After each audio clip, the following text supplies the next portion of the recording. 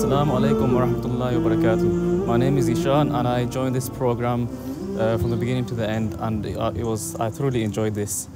Um, what I enjoyed the most about this program was uh, the brotherhood, the, the bonding that we had with all, with all the brothers and uh, how we developed our leadership skills uh, throughout this whole program.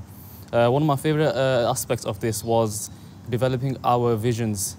Originally, my visions were short term and not as expansive as, as I could have uh, had them. I'd like to thank Sheikh Fahim and uh, Amir Bai for their efforts and their excellent lectures. I managed to uh, develop my visions uh, long term and uh, also benefit the society as well. Jazakallah.